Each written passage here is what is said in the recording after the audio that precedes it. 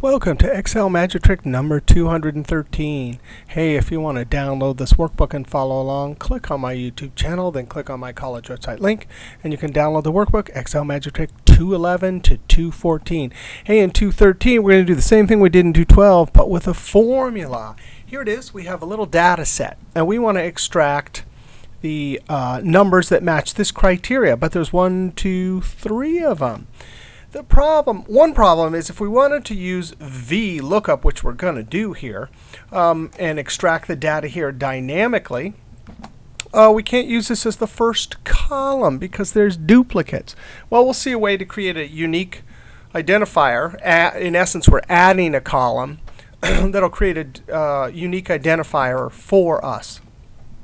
But the thing, that, what we want to do here is we want to be able to add new records to the bottom here and have this area, this data extract area, update dynamically. So as we add new records, if it matches the criteria, we want the formula just to add. All right, let's first see how to add, um, add a unique identifier to the left of our table so we can use VLOOKUP. We'll use equals this right here and if we copied this down right here, we'd get the same thing here, here, here, and here. But what we want is we want that number that actually matches this criteria here plus 1 here. And then here we want plus 2. And then here we want plus 3. In essence, creating a unique identifier. So we'll take whatever that is right there and ampersand. And then we'll use count if.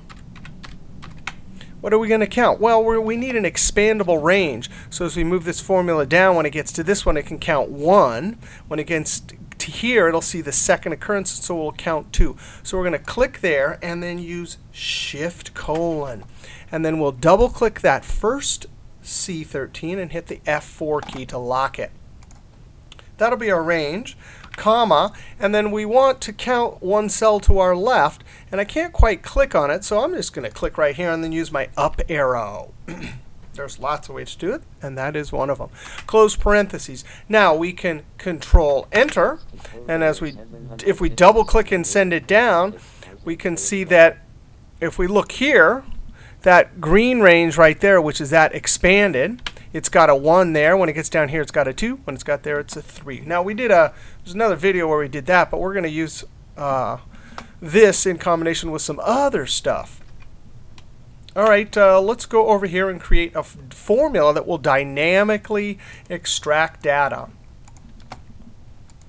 Now, um, first, we need to count how many occurrences of this there are. Why don't we just do that right here?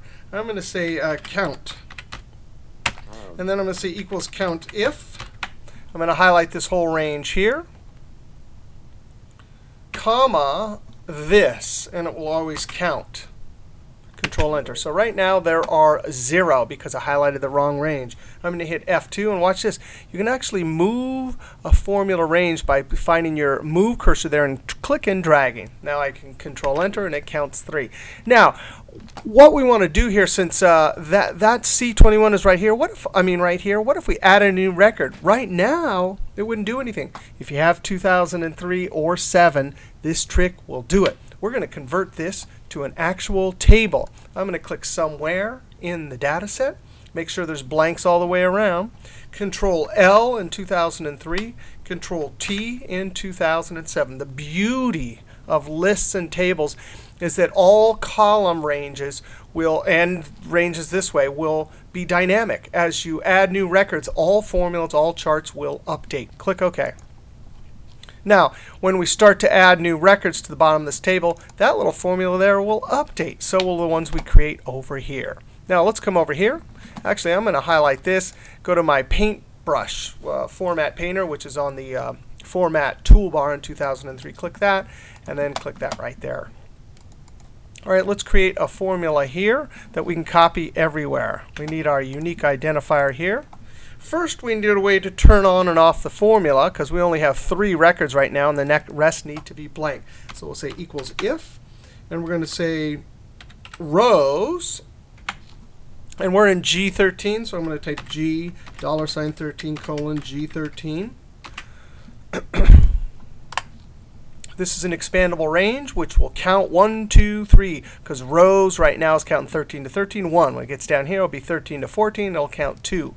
It's a great way to increment inside a formula. And that's got to be less than or equal to our count over here. And I'm going to hit uh, F4 because that needs to be locked in all directions. Now, um, if that's true, what do we want? We want to do VLOOKUP.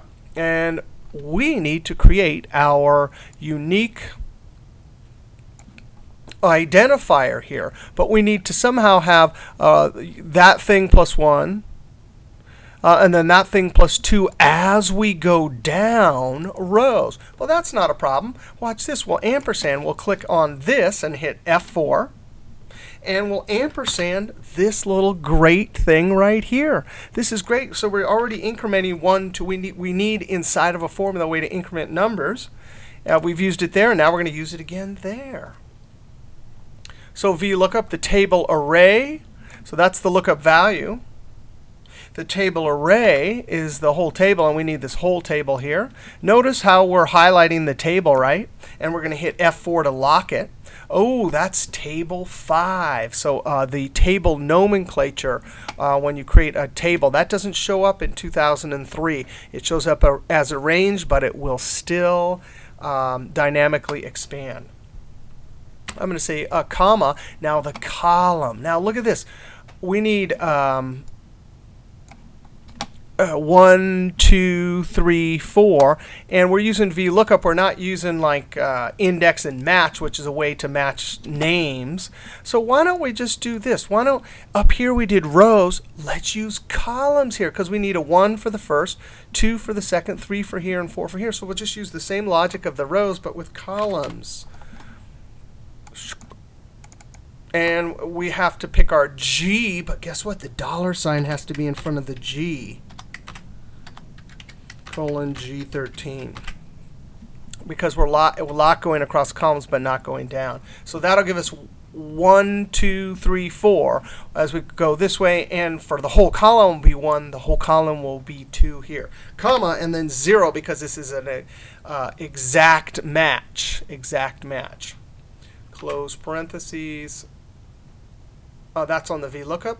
Oh, and then we have a an if here, and the value of false is going to be comma blank, close parentheses. Now, um, this is not an array formulas. We've done similar uh, data extract things like this with array formulas. This isn't an array formula. We can just control enter. And the, re well, the reason why is because we created this little column here. Now I'm going to copy this over and then copy it down. And I'm going to expand this column right here because I want to see all those numbers.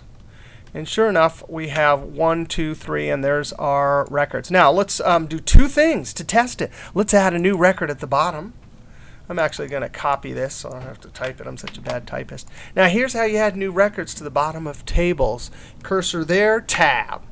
Now that's a formula. Formulas are automatically copied down when, when you have a, a table or list. Tab Control V, you can already see it's got a fourth record there. I'm going to say uh, off peak, and I'm going to say uh, 500. Wow, we love people that use off peak 500 if you're the uh, cell phone companies. And then I'm going to hit tab and add a uh, new record.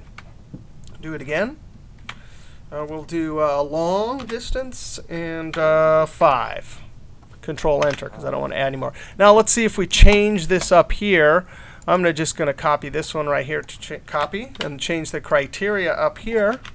And sure enough, now um, it's only got one. So that is a pretty cool little uh, system we built there for extracting uh, records from a database, adding a unique uh, identifier, and having a formula that's not an array formula. All right, we'll see you next trick.